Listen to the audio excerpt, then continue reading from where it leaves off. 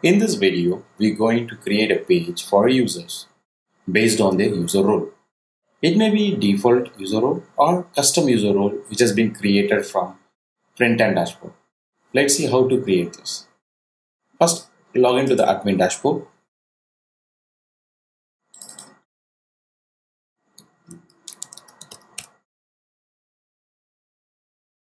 Front-end dashboard, front-end dashboard. Please go to user. Here we can see what are the custom user roles we are available for front-end dashboard.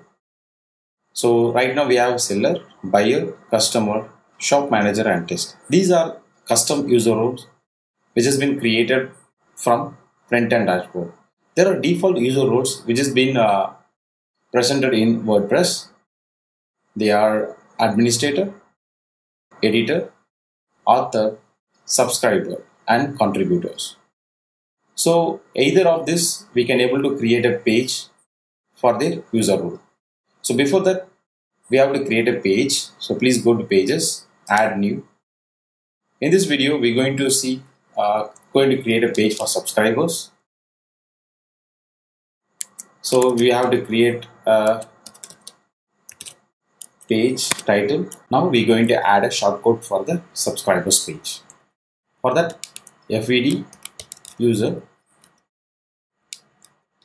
role equal to subscriber.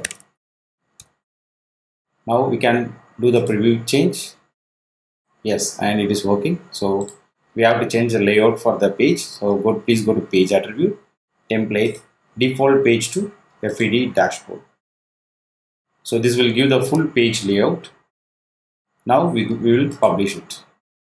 So once you publish, we can able to view that user role pages, subscriber here.